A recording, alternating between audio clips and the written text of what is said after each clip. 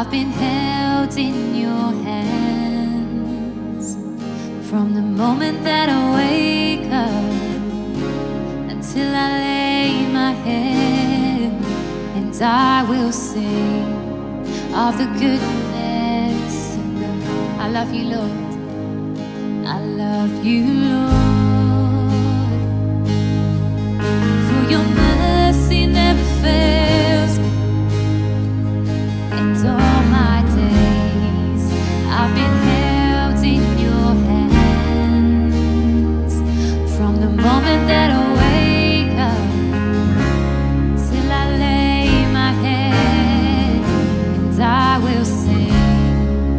the good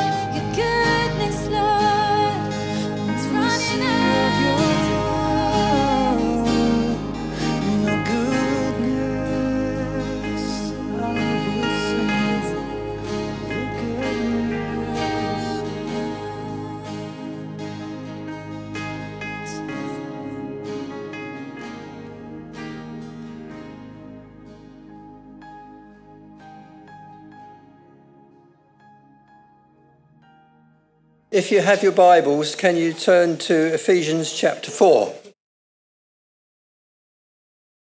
Somebody said to me, Are you going to give a message based on the Ethiopian eunuch being baptized, or the baptism of Jesus, or the 3,000 that were baptized in the early church? And I said, None of those is going to be Ephesians chapter 4. This is what it says, the first six or seven verses. As a prisoner for the Lord, then I urge you to live a life worthy of the calling you have received. Be completely humble and gentle. Be patient, bearing with one another in love. Make every effort to keep the unity of the Spirit through the bond of peace.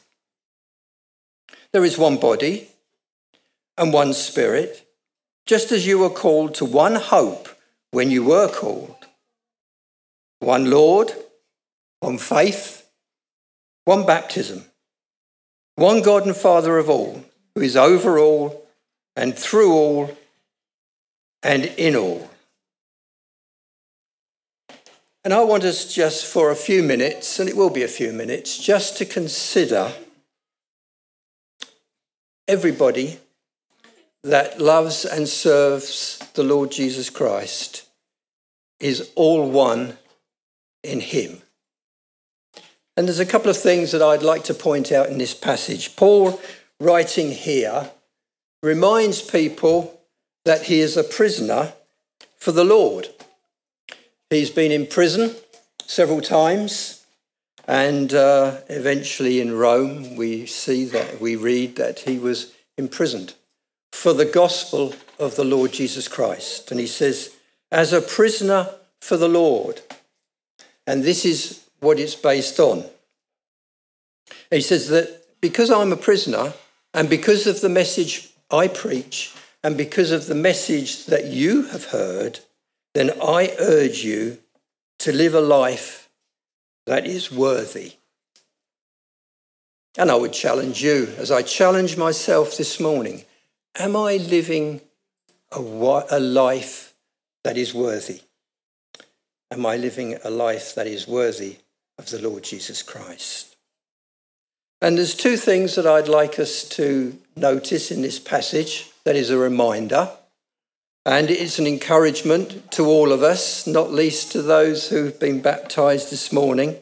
And this little message will be recorded and they can have it so they will hear it.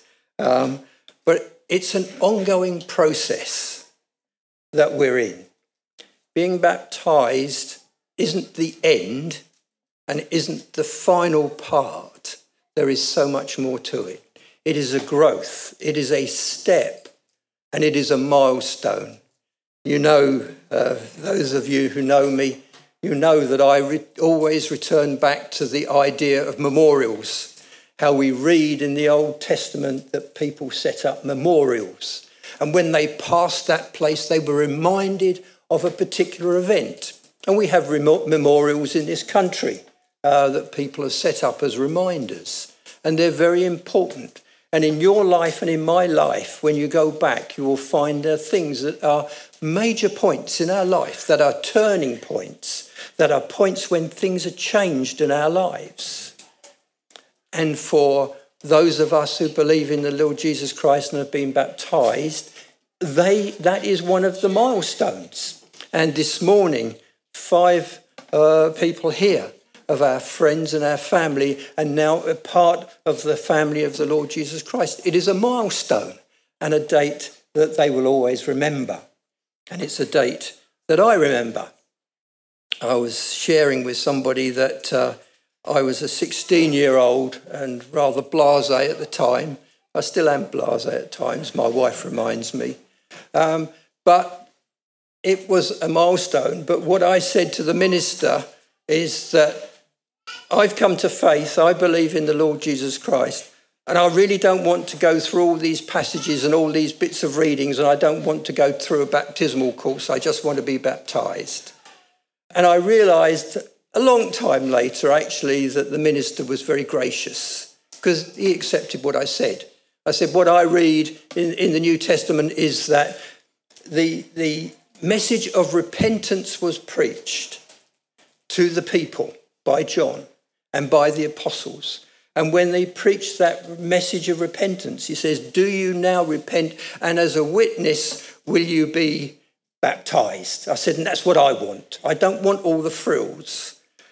And he was very gracious and he baptized me. Um, and those people that were there in that fellowship at that day helped me through difficult periods and difficult times, through a t- teenage and, and through my early 20s.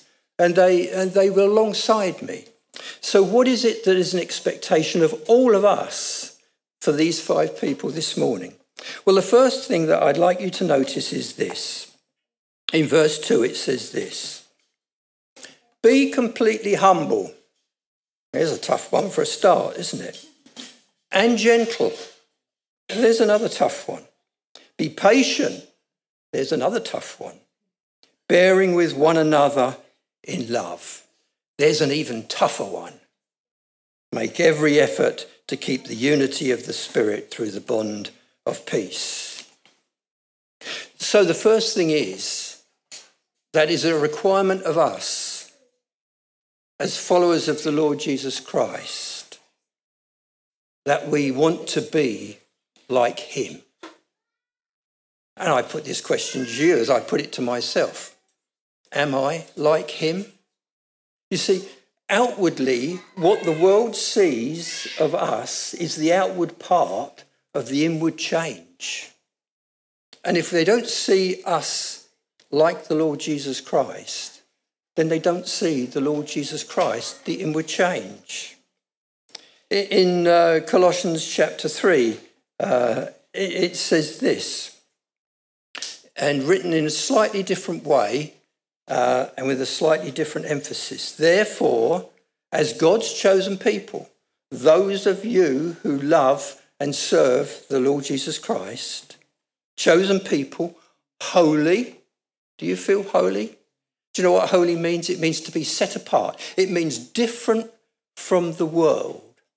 Are you different from the world or are you the same as the world? You know, at the beginning of the lockdown last year, everybody was saying, Oh, we need to change. I'm never going to go back to what it was. And as soon as the opportunity arose and freedom was given to people, they went back to exactly where they were. It was the same as the world. But are you set apart? Are you holy? Because you see, it's all part of the growth and one of the steps of, of being holy and progressing is when we make our commitment in a, in a baptism. And it says this um, Therefore, be holy, dearly loved, clothe yourselves with compassion, kindness, humility, gentleness, and patience. Bear with each other and forgive of whatever grievances you may have against one another. Now, here's something this is forgiveness. Can you forgive others? How is your state of forgiveness? Do you still bear a grudge against somebody? Because what we're talking about here is unity in the church fellowship. We're talking about the unity and being together as part of God's family and of part of his body. And he says, Forgive whatever grievances you may have against one another. Forgive as the Lord forgave you. This is a message of repentance. When we're baptized, we're saying we're sorry and we're coming to the Lord and saying, I really want to be a changed person. I want to be renewed. I want to be made whole. I want to be complete. And it starts with repentance and then forgiveness. And Paul says, But yes, for others to see the Lord Jesus Christ, you've got to forgive others, whatever the circumstances, whatever the conditions. You cannot be part of the family in its completeness and in its unity without forgiveness. And that goes for anybody and everybody and every situation, because that's what the Lord Jesus Christ has done for you and I. He has forgiven us. God has forgiven us through the Lord Jesus Christ because he gave him as his son to die for us, to cancel out our sin and say, You are forgiven. So we need to be like the Lord Jesus Christ. And it goes on to say, Forgive as the Lord forgave you, and over all these virtues, put on love. Forgiveness starts with love love for the people around us, love for one another, love for this, for this generation, and for these people that we see around us. That desire that they come into that relationship of the Lord Jesus Christ. And I know that I fall short on so many occasions because I haven't shown the love of the Lord Jesus Christ to those around me. So the first thing is to be like the Lord Jesus. And then the second is this that it is only one gospel. If, if we look at a, a little bit further, it says um, there is one body and one spirit. Just as you were called to one hope last week, Graham Dallison was talking about hope, and he pointed out the scripture uh, verses around the walls of uh, our church uh, about hope. When you were called, one Lord, one faith, and one baptism. That's it. A baptism of repentance and saying, I really want to be forgiven. I want to be part of the family. I want to be part of the Lord Jesus Christ. I want to be part of his body. Are you part of the body of the Lord Jesus Christ? Have you asked for forgiveness? Have you come to the foot of the cross and said, Now I understand what Jesus Christ has done for me? The cross is empty. Why? Because he rose again. His body was taken and it was put into a tomb, and he conquered death, and he conquered death and was risen from the tomb that we might have life and that we might have life everlasting. So we come to that point where we say that it is one Lord, one faith, one faith in the Lord Jesus Christ, nothing else, no one else around, no one else can do anything, only the Lord Jesus Christ. And it is that one baptism that changes, and that is a step on our road of walking with the Lord Jesus Christ. It's our step of understanding Him day by day that He is there and that He is there to help and that He is there to support. And by the power of the Holy Spirit dwelling within us, flowing through us, then we pray that others will see the Lord Jesus Christ and that they will see the importance of salvation in Him. Then there's one more thing that I'd like us to look at, and it's this it ends up with one God and Father of all, who is over all and through all and in all. And then if we turn back to uh, John's Gospel, chapter 1, this is what it says In the beginning was the Word, and the Word was with God, and the Word was God, and He was with God in the beginning. Through Him, all things were made. Without Him, nothing was made that has been made. In Him was life, and that life was the light of men. So when the Lord Jesus Christ was with the Father in heaven, it was the creator of our world and the understanding that he is the creator and the understanding that we fell short. We, the, we were the ones that sinned, and people don't like being told that they're doing things wrong. We have this, uh, this whole aura nowadays that everybody can do their own thing. And, uh, and, and we're, we're so busy around the world making laws to say you have to respect this and you have to respect that, trying to make people behave properly. But within us all is sin. And the only way to cancel out the sin is coming to the Lord Jesus Christ and saying, Please forgive me. I do repent of my sin and my understanding. And I want to walk with you day by day. I want to be like you. I want others to see that I'm like you so that one day I will be in glory with you because he is the one who gives life everlasting. If anybody has felt this morning that call to make that commitment to the Lord Jesus Christ, you can do so this morning. You can come and speak to us. You can speak to Paul. You can speak to one of the leaders. You can speak to me. And we will talk you through it. And we will say how much we will support you and give you that help.